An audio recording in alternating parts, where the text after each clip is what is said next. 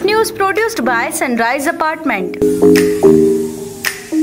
वर्तमान में टमाटर के उत्पादन में गिरावट के कारण आवक अस्थिर हो गई है। उसी प्रकार डिमांड की तुलना में आवक कम होने की स्थिति सभी कृषि उपज मंडी समितियों में देखी गई। नतीजतन दरें बढ़कर दोगुनी हो गई है।